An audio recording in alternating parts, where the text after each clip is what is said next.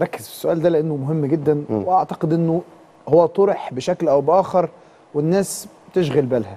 الأهلي والزمالك مشاكل كبيرة جدا في الملعب حصلت تعقيبك مهم إن أنا أسمعه وهتوقدوا إزاي الفتنة اللي حاصلة بين اللعيبة دي والمنتخب.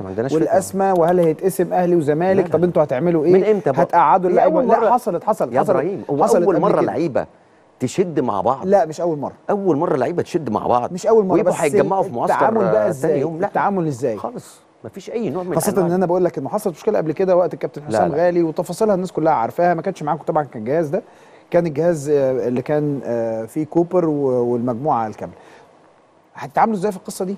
هو ده مش هيحصل وأنا بأكد لك ان هو مش هيحصل عشان بعد كده يبقى لنا تعامل. ولكن لو حسينا بأي حاجة ولا وشوش آه، مثلا مش مش آه. مقلوبة على بعض ولا أي حاجة لا هنعرف نتصرف وهنعرف نتكلم وهنبقى عارفين لأن دي لعيبة كبيرة وبتبقى فاهمة إن دلوقتي عبد الله اللي بيعمل كده ده بيضر عنده نفسه. مشكلة مع عبد الله جمعة عنده مشكلة مع جمهور ال ال الأهلي وبالتالي في بالتبعية عنده مشكلة مع لعيبة الأهلي. وليد سليمان عنده مشكلة مع لعيبة الزمالك. لو جبت وليد سليمان وعبد الله جمعة الوضع يبقى عامل إزاي؟ يعني أنا أنت بقول متخيل إن هم لو جم مثلا هيضربوا بعض؟ لا مش هيكلموا بعض. لا، لا، لا،. المشاعر هتبقى مش أحسن حاجة. لا لا مش هيضربوا بعض خالص صدقني بص يعني إيه، أنا بقول لك ده مش هيحصل ولكن حتى لو حصل آه. يعني الكابتن حسام هيبقى كفيل آه وأنا مع إن شاء الله إن الدنيا دي كلها قبل أول تمرينة. مم. خد بالك إحنا دايما كابتن حسام قبل أول يعني يوم المعسكر قبل أي حاجة قبل مثلا ما ننزل أو نخش على الغداء بيبقى في اجتماع كده نص ساعة.